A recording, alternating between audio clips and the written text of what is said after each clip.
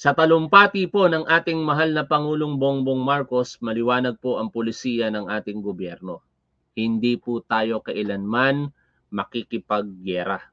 But it doesn't mean na hindi po natin igigiit at ipaglalaban ang ating karapatan, partikular sa bahagi po ng South China Sea na kinikilala po nating West Philippine Sea. At dahil nga po dyan sa pag-iit ng ating karapatan, eh nakalulungkot na ang ating mga sundalo inagrabyado, pinuwersa, sinaktan ng mga China Coast Guards.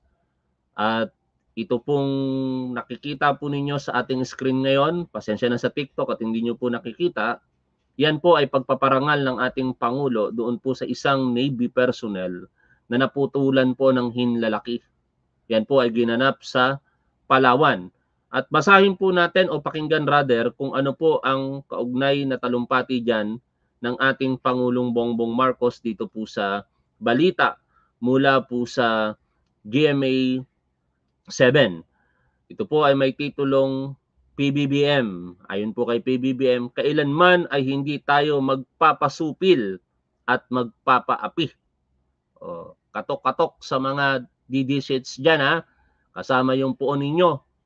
Ha? Mistulang nagpasupil sa China at nagpaapi sa China kasi walang ginawa kung hindi yumukod, sumunod sa kagustuhan ni, ni Xi Jinping, ang presidente po ng China. Okay, pakinggan po natin ang balita na ito mga tol. Iginiit ni Pangulong Bongbong Marcos na hindi magpapaapi kanino man ang Pilipinas. Sinabi ito ng Pangulo matapos ang panibagong pangaharas ng China sa mga sundalong Pilipino sa Ayungin Shoal. Kailanman ay hindi tayo magpapasupil at magpapaapi kahit na kanino man. I have never been prouder of the brave women, men, and not just the West Command, Western Command, but the entire armed forces as I am today. Ganyan dapat ang Pangulo. Hindi yung sasabihan mo yung Navy mo, itigil nyo ang sovereignty patrol kasi magagalit si Xi Jinping. paketin kita, pumunta ka sa YouTube at Facebook, dito kita paketin. Sa TikTok, hindi ka pwedeng umakyat. Punta ka. Kung gusto mo makipag-argumento sa akin, manood ka sa aking YouTube o Facebook. Paakitin kita dito at ay uh, magtabalitaktakan ng argumento. Walang murahan na. Tuloy po tayo sa pakikinig dito. remember that on June the 17th, we made a conscious and deliberate choice to remain in the path of peace. The 80 officers Sa pagbisita ng Pangulo sa AFA Western Command sa Palawan itong weekend, sinabi rin niya na hindi nag-uudyok ng gyera ang Pilipinas. Ang gusto raw ng gobyerno, bigyan ng mapayapa at masaganang buhay ang bawat Pilipino. Gayunman, ang pagsusulong sa kapayapaan ay hindi raw nangangahulugan ng pagtanggap sa pang-aabuso. Ginawa ng Pangulo ng Order of Lapu-Lapu Rank of Kampilan si Seaman First Class Underwater Operator Jeffrey Facundo. Si Facundo naputulan ng hinalaki ng banggain at sirain ng China Coast Guard ang ilang inflatable boats ng Pilipinas sa rotation resupply mission sa Ayungin Shoal noong June 17. Biruin ninyo, nasaktan yung sundalo natin, naputulan ng daliri para lamang sa pagsisilbi sa bayan. Itaguyod ang ating karapatan sa West Philippine Sea. Tapos kayong mga supporter ng mga Duterte, kayong mga DD sheets, pinapangatwiranan nyo pa ang aksyon ng China. Mga hinayupak talaga kayong mga anak ng teteng kayo eh. Pero wala kaming magagawa dahil yan po ay isang malaking katangahan sa parte ninyo mga DD sheets. Kaya wag niyo na kaming idamay sa inyong mga katangahan. Tama na kayo na lamang. Pero ginagawa namin ito para i-educate ang publiko na hindi nyo malinlang kasi kayong mga manlilinlang ng mga DD sheets, ginagawa ninyong tanga ang mga kapwa ninyo Pilipino. At mahirap yon kapahamakan po ang kauuwian kapag tanga-tanga po kayo. Kaya dakuhan po natin ngayon yung opinion dito naman ng uh, dating political advisor for political affairs na hindi naman po ito talaga pro Marcos. Ano, ito po ay anti-Marcos. Alam naman po natin nakalaban po natin ito sa paniniwalang politikal pero ang maganda ngayon, sabi niya nga at sabi naman ng lahat o maaring sa kasabihan, ang nararapat na ibigay sa isang tao ay dapat ibigay kung ito ay dapat katanggap-tanggap para sa kanya. Ha? Give the credit to where the credit is due, ika nga. At yun ay para kay Pangulong Bongbong Marcos. At dito sa mga pahayag nitong si Ronald Llamas, makikita po natin na kahit paano dito po sa aksyon ng ating Pangulo sa West Philippine Sea, kahit kalaban po natin sila sa politika o anti-Marcos sila, eh pinupuri naman nila o inaayunan po nila kung hindi man pinupuri ang diskarte o polisiya na pinapatupad po ng ating kasalukuyang Pangulo sa ating pamahalaan. Okay, pakinggan po natin ang kanyang mga pahayag dito at reaksyonan din po natin. O dahil nandito na tayo, no? Naku po, ano ba yun? Aksidente? Misunderstanding? Do you think, totoo ba? You think uh, that, yun, ganun din describe ni Executive Secretary, yung nangyari doon sa Ayungin Sul, nakita niyo naman yung hot na hot na video niya, no? Maiton, andyan pa ba yun? Yung talagang pinag-initan yung mga sundalo natin, uh, in the process may naputulan ng daliri. Kinuha pa yung mga atmaris natin, ah. yung Napanood natin sa balita kanina yon ha. Siya po si Jeffrey Pacundo. Oh, siya po yung ah, isa sa mga Navy personnel. Alam po ninyo, sabi nga po doon sa balita, ewan ko kung lahat po sila ay trained bilang ah, Navy SEALs. Pero may mga kasama daw po na SEALs doon. Ibig sabihin, ito po yung mga matataas ang antas ng training at hindi po mga duwagang mga yan. Well-equipped po sa skills and knowledge sa tactical operation ang mga ganong sundalo.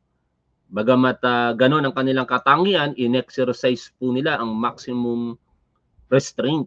Ano? Talagang sabi nga dito nitong reporter na si Pahatin at saka si Llamas, eh baka kung sa kanila ginawa, and perhaps baka kung sa ating ginawa, eh pinaputokan na kagad natin yon eh, kung matanggalan ka ng daliri eh pero dahil nga po alang-alang sa ating bansa at sa mga kababayan po nating Pilipino na maaring maging ah, biktima ng gera na tingin ko hinahangad ngayon ng China kasi pinoprovoke talaga nila ang Pilipinas eh. Eh kung kung ginagawa po nila yan, ganun ang hangarin yan para sa isang iglap magkaroon sila ng dahilan na bombahin tayo, gerahin tayo, na hindi nila magagawa kung hindi po tayo ang magsisimula. Kasi bakit natin pinapahalagahan ang bagay na yan? Sa ilalim po kasi ng pagdepensa o yung ugnayan po natin sa Estados Unidos doon sa tratado natin Mutual Defense Treaty, kinakailangan na tayo ang inatake at hindi po tayo ang aatake. Otherwise, kapag tayo po ang umatake, wala pong activation hindi po natin pwedeng i-invoke yung Mutual Defense Treaty. At maaaring hindi rin po tayo tulungan ng mga like-minded countries po natin. Katulad po ng Germany, France, Japan, Canada at iba pa. Kapag tayo po ang nanguna sa gera. O, kaya sinisikap ng China ngayon na ganunin tayo. Abusuhin tayo, i-coerce tayo, persahin tayo. Saktan ang ating mga sundalo. At kung sino man mga concerned Pilipino diyan po sa West Philippine Sea para perhaps magalit at uh, manguna na magpaputok. Ngunit hindi po sila nagtagumpay. Kaya saludo po tayo dito po sa ginawa ng ating mga sundalo. Huwag niyo pong tingnan niyo bilang karuwagan, katapangan po 'iyon. Tuloy po natin ang pakikinig dito. Ating mga bangka, oh. ano ba yan? Itong pahayag ni Executive Secretary Lucas Bersamin, ito ay nauna pa doon sa pagkapatawag uh, sa security cluster ng Pangulo. No? Ibig sabihin, na, nauna siyang magpahayag niyan bago sila aktual na mag-tipon-tipon uh, para pag-usapan ito. Anong bata, basa mo dyan, Sec? Well, bibigyan ko ng konting leeway si uh, Executive Secretary Bersamin dahil hindi naman niya linya ang foreign policy. Hindi rin niya linya ang security Kasi, at saka defense. No mga una kasing pagkakataon, may mga conflicting statement ang ating mga taong gobyerno eh no? Merong nagsasabi na dapat itrato na yan bilang act of war, dapat gumanti tayo accordingly. Iba't ibang mga statement ng mga taong gobyerno sa ehekutibo at even sa lehislatibo. Pero naging malinaw po ang pulisiya nung magsalita na si Pangulong Bongbong Marcos doon po sa napakinggan natin balita kanina.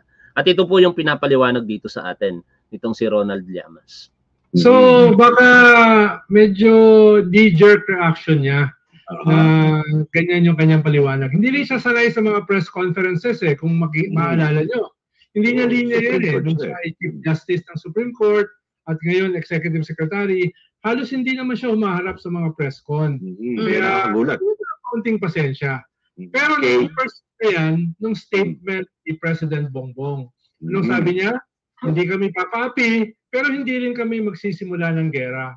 Yan. Tingin ko, mas yun yung framework na Mm. gumagabay ngayon sa gobyerno na ah, i-assert namin yung aming karapatan, i-announce namin yung ah, yung aming resupply, itutuloy namin yung resupply kahit harangan nyo kami, pero hindi kami magsisimula ng gera. At mahalaga yun ha, dahil may mga armas, yung mga yung mga Dito ah, makikita po ninyo yung mataas na pagtingin nitong si Llama sa ating mga sundalo. At dapat ganun din po ang maging appreciations po natin. Taliwas po doon sa mga DD sheets o mga makapili sa makabagong panahon na nananakot palagi ng gera, tapos mga takot naman sa gera, tapos uudyokan tayo sa gera, o sasabihin pa na, oh, duwag yung mga sundalo na yan. May mga ganung comments ako nakikita. Eh, bakit hindi kayo lumaban? Bakit hindi nyo, daan pa lang, hindi nyo na naipaglaban ang ating bansa. Tapos, maghahangad pa kayo ng gera. Parang ganon. Yung mga naratibo po nila na napakagulo kung titingnan mo na ang layunin lamang talaga, eh, i-divide po ang mga Pilipino o kaya naman udyukan ang mga Pilipino na magalit at tayo po'y magsimula ng gera. Huwag tayong magpapadala sa mga ganong naratibo kasi ang mga Pilipino na nagsasalita po ng ganyan, hindi naman po yan likas sa kanilang isipan. Yan po ay ini-inject sa kanila ng China for several reason at hindi ko na alam kung ano-ano ang mga yon. Kayo na siguro ang makakahusga. May mga nagsasabi na sila'y bayaran, ewan ko kung totoo, o may mga talagang tanga lamang dahil sa kanilang pagsuporta sa mga Duterte na maka-China, kahit kapwa nila Pilipino, inaapi na, o kahit ang bansa po natin eh pinapahiya na kung ano-ano pang mga ginagawa nitong China, sila ay mananatili pa rin at pangangatwiranan sa mga ginagawa na ito ng China. Ngunit inuulit lamang po natin, kahit ganyan ang ginagawa po sa atin ng China, hindi po sagot ang gera. Tuloy po natin ang pakikinig dito. mga nabsok na pumunta no ating ah, Navy SEALs pero hindi sila nagpaputok kahit pinuputulan na sila ng daliri at kahit Mhm. ginugupi na sila. Bakit? Ang utos ay wag i-escalate yung away. Iwasan Mhm. maggera. Malinaw, oo. Kailangan kahit ah, meron ka mga criticism sa nangyari, bakit mm yung armas, dapat purihin mo sila doon sa kanilang Correct. self-restraint. Mm. Dahil kung kami ni Michael yon, Mm, dako, Mm. mm. usapan natin eh. eh, nahahampasin ng kung ano-ano. Oo. may ng bato, tapos eh, puputulan ng daliri, eh, maghalo na ang balat sa tinalupan. Ganyan kasi tayong tipikal na mga Pilipino eh. No? Di ka sa atin yung pagiging matapang. Pero bibihira po sa atin yung meron pong proper training. O, siguro kayo mga manonood, at isama ko na rin sarili ko kasi civilian na ako ngayon, di naman po ako pulis na eh. O, kaya pagka tayo nasaktan, usually idedepensa natin ang ating sarili appropriately to the extent na tayo gagamit ng armas. Pero ang mga sundalo po natin na yan, may armas sila noong mga panahon na yon. Di nila ginamit. Kasi pagka ginamit nila yon, kapahamakan po ng Pilipinas at ng mga Pilipino ang mangyayari. Dahil gaganti po ang China ng full force po nila. At sigurado, durog ang Pilipinas at wala po tayong kakampi. Kasi bakit? Tayo nang una eh. Ano? Kaya hindi dapat mangyari yon mga tol. Huwag natin udyukan ang ating mga kapwa Pilipino na ganito dapat gawin, gerahin ng China, hindi po yon. Naratibo po ng China na tayo ang manggera sa China kaya wag po tayong magpapadala dito. Pakinggan po natin ang ating Pangulo at ang mga tao na naniniwala sa polisiya ngayon ng ating Pangulo. Kaya natin din pinapanood ngayon itong mga sinasabi dito nito pong si Ronald Llamas. Yan nga Mm. yun. Dahil wala kaming self-restraint eh. Hindi Michael, no? Kami Mm. kasi ay hindi mga professional soldiers. Correct. Kami mga professional hecklers. Hecklers na. Kami, tiga-asar, no? Ah, Ah. kaya pupurihin mo rin naman Ang lakas mang sarcasm ni Llamas, ano? Alam niyo ba kung sinong pinapahiwatigan niya na yan? Mga DDCs. Ano? Mga professional hecklers. Akala kasi natin yung heckler dati, eh nasa isang patalumpati lamang ang isang tao tapos may mga biglang sisigaw, manggugulo, ganun kasi yung heckler eh. Guguluhin yung event. Pero itong mga DD shit, parang ganun na rin ngayon. Mga professional, mga paid trolls. Ha? Sila po ay talagang ah, nababayaran para lamang po isulong ang interes ng kanilang ah, sinusuportahang bansa o personalidad. Huwag nyo nang ikailayan. Maraming beses ng pag-amin ang ginawa ng ilan sa inyo. At may mga kakilala ko personally, ngunit hindi ko papangalanan dahil hindi naman ako tanga para masampahan ng kasong cyber libel na alam kong tumatanggap noon at hanggang ngayon. Diyan sa sinusuportahan ninyo. Ha? Nak ng teteng kayo. Pero merong pahayag si Professor J. Batong Bakal eh. Ah, napakinggan ko po ito sa interview sa kanya ni Malu Mangahas. Tinanong kasi ni Malu Mangahas kung meron bang paid trolls. Siyempre, sabi ni Professor J. Batong Bakal, eh, merong paid trolls talaga na mga anti-government. Hindi yan may kakaila. Eh, sinigundahan ng tanong nitong si Malumangahas kay Prof. J. Batong Bakal. Ito naman ay opinion ni Prof. J. Batong Bakal. I do not know kung ito ba ay ex- existent talaga. Sa paniniwala po ni Prof. J. Batong Bakal, meron na rin pong paid trolls ang gobyerno daw. At ito daw po yung pinapatangpat dito sa mga paid trolls ng kalaban po ng gobyerno. Yan po ang naging opinion ni Prof. J. Batong Bakal. And somehow, siguro, kung ako ang tatanungin po ninyo, dapat ganun din. Magkaroon na rin talaga ng intelligence uh, funds for that matter para labanan po itong mga paid trolls na anti-government. No? Kaya nga intelligence fund ang gagamitin kasi para yung mga personalidad sa likod ng trolls na yan, kung meron man, I do not know, troll army ang tawag eh, Ah, para labanan yung mga trolls ng kalaban talaga natin, eh hindi na mahalungkat pa yung kanilang mga pagkakakilanlan. Kasi by using intelligence funds, syempre discreet ang operation and kaya nga intelligence funds, eh, hindi yan na subject for ordinary audit. Anyway, tuloy po tayo sa pakikinig dito. Yun yung ating mga special forces, no? Yung ating Mhm. Navy SEALs na nagtimpi sila. Eh, binabati ko sila eh, ba't nakuha yung baril nyo? No, ba't hindi kayo lumaban? Etc. Mga DD shit kasi yon, mga DD shit ang nagsasabi nun mga tol. Kasi gusto nila, udyokan tayo eh, na makipaggera. At yun ang gusto ng China. Huwag tayo magpapadala doon mga tol. etc. Oo, wala kayong bayad, duwag, mga ganun. Mas madaling lumaban kaysa magtimpi. Oo. Kaya, ah, wag din namin sila, wag din natin sila totally laitin. Di ba? Mm. Kaya, tingin ko, doon ang gagaling yung statement ni President Bongbong. Hindi Okay. kami papapi. Tutuloy Hmm. namin ang supply. Pero, hindi rin, wala rin kami balak na magsimula ng gera. Dahil Hmm. malinaw, pinoprovoke tayo ng China eh, Mm, Malinaw, oo. na to cast the first blood. mm. Di ba Yes. parang yung sino yan eh, ni Sylvester Stallone eh. Oo. Ang sabi ni Sylvester Stallone. They drew first blood. Oo, sa Rambo yan, mga kaibigan. Yung Baka di nyo napanood yan. Okay. So, ibig, okay. So, ibig sabihin, ibig sabihin mo na, oo, na supersede na Sabi- nitong na statement ni PBBM. So, does that mean we just, you know, kalimutan na natin yung nabitawang mga salita ni E.S. Bersamin? Ganun na lang yun. Tingin ko gusto niyang kalimutan natin. Gusto niya, pero nasabi na niya eh. Yun nga yung problema. Pero dagdagan ko yung sec ha, para maintindihan lang ng ating mamamayan. Yung binabanggit nating napakahirap magtimpi, no? Sa pagtitimpi ng ating mga sundalo, ang nangyari dito guys, no, inisip nila yung kapakanan ng buong bansa. Hindi na mga personal na safety nila o sarili nila. Ang hirap pong palibutan. Ako naranasan ko na po yun, eh, sa atin, napapalibutan ka, kukuyugin ka.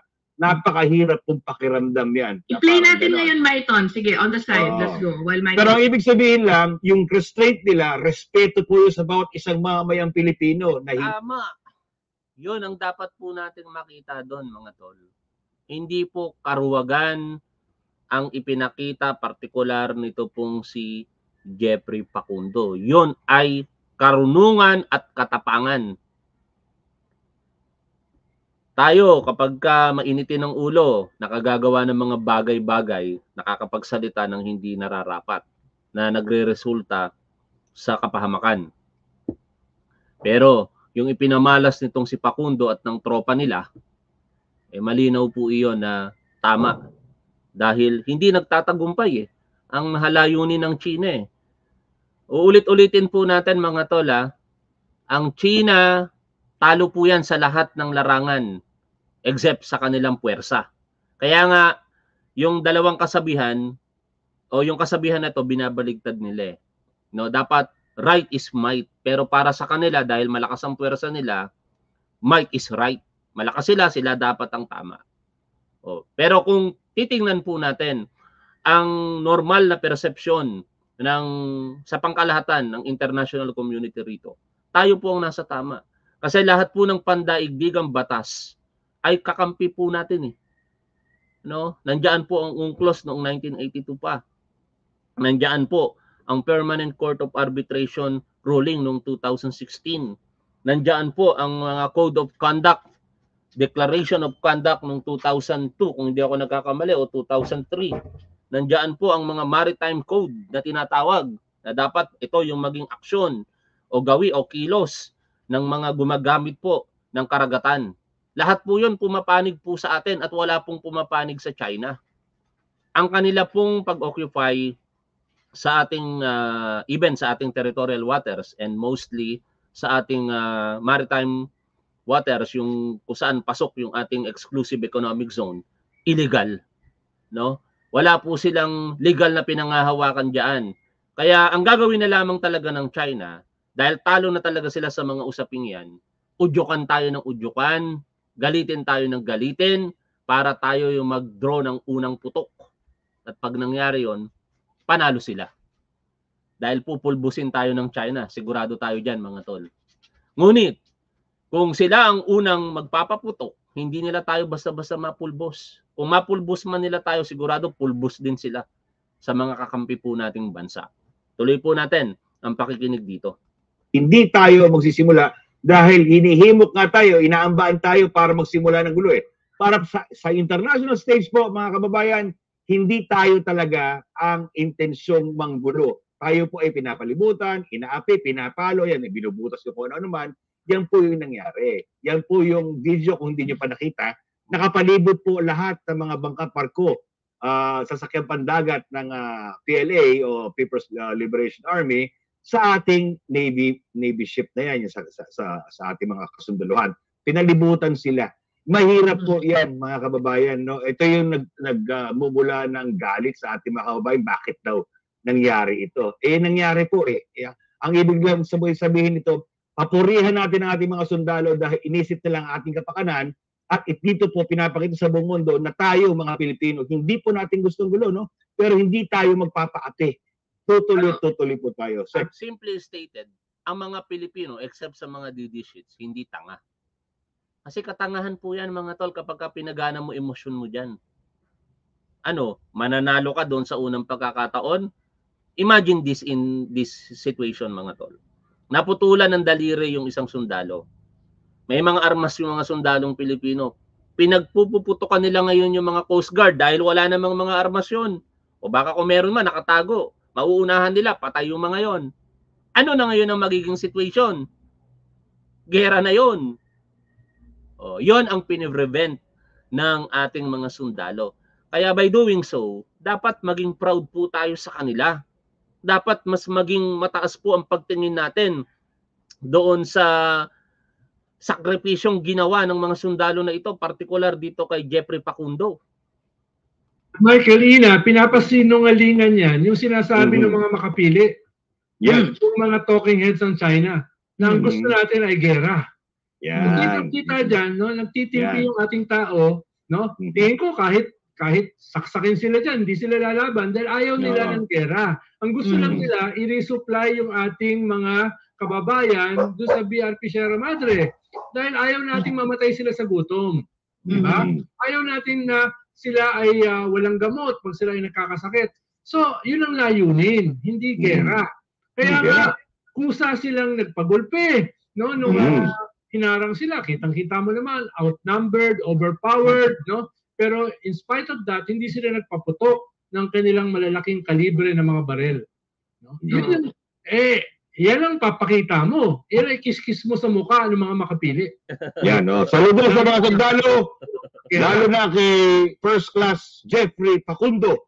Siya po yung Mm. naputulan ng daliri at binigyan ng medalya ng ating Pangulo. Sige, sige. Oo. Ikaw, ikaw, ikaw, ikaw ba, Michael? Putulan ka ng daliri. Anong gagawin mo? May hawak kang, Naku, no. hawak kang Armalite. May hawak kang... Wala na, wala. Allow na, wala. Blackout na to. Gra- kaya dito malinaw sa atin mga tol dapat ang paninindigan natin. Ha? Panoorin nyo ng buo ang live streaming na yan at siyempre yung balita ng ating Pangulong Bongbong Marcos. Ngunit babalik ako sa sinasabi po natin na malinaw dapat ang maging paninindigan po natin dito. Ang Pilipino do not yield. Ah, hindi po tayo sumusuko. Hindi po tayo magpapaapi. But it doesn't mean tayo po'y magkikipaggera.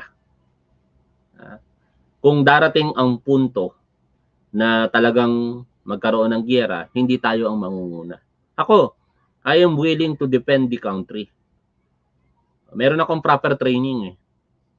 Alam ko kung paano gumamit ng barel, alam ko kung paano magpatama nito. Kaya kaya kong ibigay ang buhay ko para sa bansa kung kinakailangan. After all, kapag ka ikaw pinagtanggol mo ang bansa para mo yan, para yan sa pamilya mo, hindi yung kaplastikan eh. Kung ang pinag-uusapan po panlulupig ng ibang mga bansa, no? Pinagtatanggol mo pamilya mo dahil pinagtatanggol mo ang bansa mo, kaya ipinagtatanggol mo na rin ang pamilya mo. Huwag tayong tutulad sa mga DD shits na matatapang lamang sa pananalita o kaya matatapang lamang dahil sila po yung nakaposisyon, sila yung may kakayahan pero hindi po nag-iisip ng tama. Nangyari na po yan sa nakalipas na anim na taon. Matapang sa kapwa Pilipino, pinagpapapatay ang mga kapwa Pilipino. Pero pagdating sa China, yukod-yukuran. Kulang na lamang himurin ang puwet ni Xi Jinping. Pero sa mga kapwa Pilipino, pagmumurahin, daming pagkakataon. Alam niyo hindi lang naman na mga matataas na opisyalis ng gobyerno ang pinagmumura nitong si Rodrigo Duterte. Kahit ibang mga ah, international leaders, even the religious leader, pinagmumura din itong si Rodrigo Duterte. Pero meron din po siyang mga pinagmumura na pangkaraniwang mga Pilipino. Naaalala ninyo, nung nagkaroon ng issue sa modernization ng jeepney, yung problema na yan, minana lamang yan ng ating Pangulong Bongbong Marcos. Ano ang pahayag doon ni Rodrigo Duterte sa ating mga jeepney drivers? O, tingnan niya natin, jeepney Rodrigo Duterte to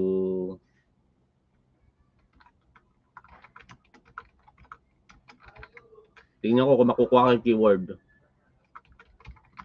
Hmm. O, di ba? Duterte to jeepney drivers operators modernized by year end or get out. Pakinggan po natin ha kung gaano po ka mahal kayo ng sinusuportahan ninyong pangulo. Dati ah. Pag may sinabi ng gobyerno to protect public health and to protect public interest, kailangan sundin natin yan. Kaya, it, you know, if we fail, it means more money for lung cancers and for respiratory diseases. Mga anak natin, maging bobo yan. Stand still on traffic, it does not move. And all the time, people of the Philippines are inhaling the fumes. Kung maintindihan ninyo yan, nakikinig kayo ngayong piston, intindihan ninyo mabuti. Hindi ako papayag. Alam mo, pag ako ang presidente may naiwan for years, either patayin ninyo ako o sumunod kayo. Hindi ako upo dito pagsalita ng presidente kung hindi masusunod ang batas. Putang ina, magpapatayan talaga tayo. sa mga tao, palakpakan pa, no? Ganyan ang uri ng kultura na ininject nitong si Rodrigo Duterte sa ating mga kababayang Pilipino. Although that is just an expression, maybe for pa- for for, an- for a disappointment. Pero nasa harapan ka ng publiko eh. Pangulo ka ng Pilipinas eh. No? Pero hindi naman yan yung issue natin. Kung hindi kung gaano po nito tinatrato ang mga tao na kapag ka ayaw po sa kanyang polisiya, eh, etches ka sa kanila. Pasensya na sa kumakain ha. Ibang, ibang word na nga yung ginamit ko. Hindi ako papayag na magmura. Eh, lahat naman tao nagmumura eh. Pero hindi ako papayag, totoo lang. January 1, pag hindi nyo na modernize yan, umalis kayo. Mahirap kayo, putang ina, sige. Mag, magtiis kayo sa hirap at gutom, wala akong pakialam. O, di ba? Ganyan ba ang uri ng Pangulo na dapat suportahan? Pero ang daming nagoyo ng ganyang pananalita ni Rodrigo Duterte. No? Pagka hindi umaayon sa kanyang paniniwala, wala ka sa kanya. Pagmumurahin ka pa niyan. Ganyan si Rodrigo Duterte. Napakalayo kay Pangulong Bongbong Marcos. Yung problema niya na iniwan, particular sa modernization na yan, sa ating public utility vehicle. Si Pangulong Bongbong Marcos ang nagsusumikap na masulug, masolusyonan ito eh. Kaya nga yung mga pinagmumura nitong si Rodrigo Duterte, nagagalit rin ngayon kay Pangulong Bongbong Marcos pero walang magagawa eh. Pinasimula ni Rodrigo Duterte at batas na rin po iyan kaya dapat sundin. Ngayon, going back dito po sa pinag-uusapan po natin. Dapat dito calculated ang desisyon. Huwag katulad ng kay Rodrigo Duterte na matapang lang sa salita pero sa gawa. Pagkakapwa Pilipino, yari ka pero pagka China ang pinag-uusapan, wala lang. Ipamalas nyo naman mga didisits na kayo'y mga Pilipino. Mahalin nyo naman ng totoo ang Pilipinas. Ang hilig-hilig ninyong magsalita ng mahalin natin ang Pilipinas pero hindi naman nakikita sa gawa ninyo. Dahil ipinagkakanulo ninyo ang kapwa ninyo Pilipino. Ipinagkakanulo ninyo ang bansa po natin. Maraming maraming salamat sa inyo mga tol. Hanggang dito na lamang. At uh, shout out po sa inyong lahat. Sabi, punta ka na WPS at tapang ka. O, tingnan mo naman, alam mo, ikaw, hindi katapangan ng pagpunta doon. Walang duwag na pulis. Yun lang ang sinasabi ko sa inyo. Pero hindi rin katapangan ang pakikipaglaban palagi sa maling kaparaanan.